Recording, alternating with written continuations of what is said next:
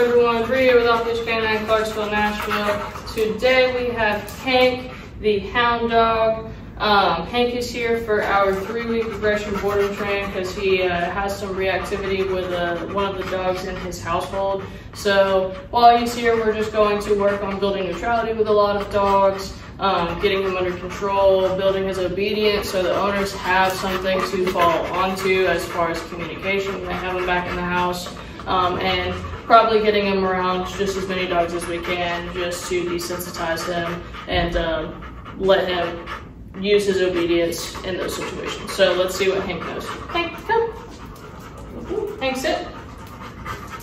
Hank, sit. Sit. Down. Hank. Down.